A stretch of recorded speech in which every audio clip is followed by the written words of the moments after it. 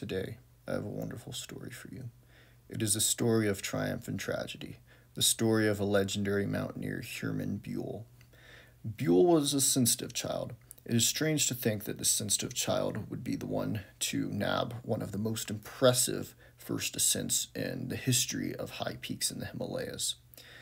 He barely talked, he was very shy, until he discovered the sport of climbing.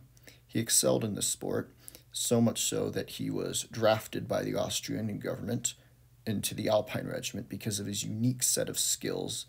After being returned from being captured by the Americans, Buhl returned to his training as a mountain guide, where he set his sights on the 8000er, Nanga Parbat.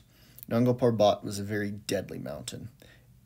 31 people had died prior attempting the peak. Buhl wanted to be the first person to get to the top. Upping the ante of the ascent further, he refused to use oxygen on, on the peak, preferring to do it in a lighter, faster alpine style. He also deserted his climbing partner at Camp 5 because his partner was too slow. So Buhl continued on to the summit. He made it there, but somehow managed to lose his crampon and his ice axe on the summit of the peak. He then continued down with one crampon and he found himself weathered out overnight. So he lashed himself to the side of a very steep slope and stayed there, descending in the morning back to Camp 5 safe and sound.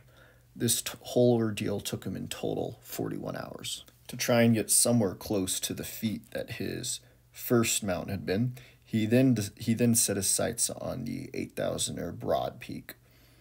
He and a climbing partner ascended it in a fast, light alpine style, as was becoming customary for Buhl, and they summited. No big issues on this one. Done with the 8000er game, Buhl set his sights on a 7er, Chogolisa.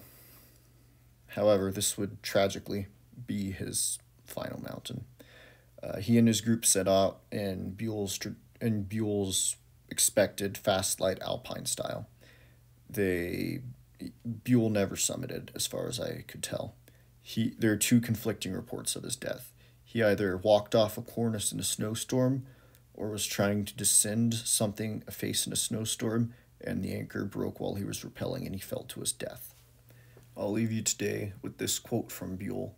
There is probably nothing finer than to climb free and unencumbered by equipment, reveling in the gymnastic upward movement, like Preuss or Dulfer before you, relying only upon yourself, keeping a sharp eye on things, feeling the rock beneath your feet and fingertips. This has been a mantra for many climbers before and after Buhl, and it will continue to be a mantra in the future.